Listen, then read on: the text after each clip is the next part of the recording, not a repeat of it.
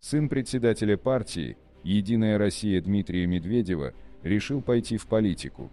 Илья вступил в ряды единороссов и теперь готовится заниматься развитием ряда молодежных направлений.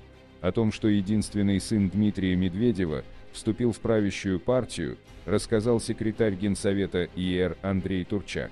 Именно он вручил ему партийный билет сегодня днем в Москве. Партийный билет Илье Медведеву секретарь Генсовета «Единой России» Андрей Турчак вручил в Центральном исполкоме партии.